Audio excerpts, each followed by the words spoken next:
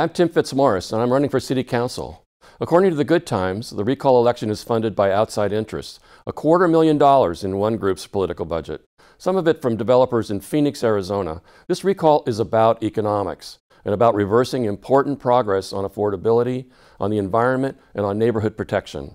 I once wrote a poem about our river that goes, All of history has been watched by our river, but the river lives beyond history. This city and this river can be a victim of history of forces that are anxious to reshape this community.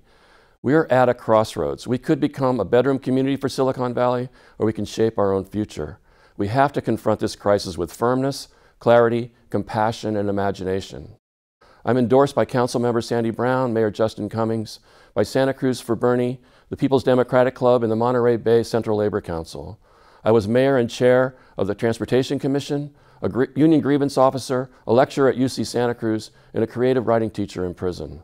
We can overcome our divisions and confront the issues of climate change, housing insecurity, affordable housing, neighborhood protection, homelessness, and make the council work for the people of Santa Cruz.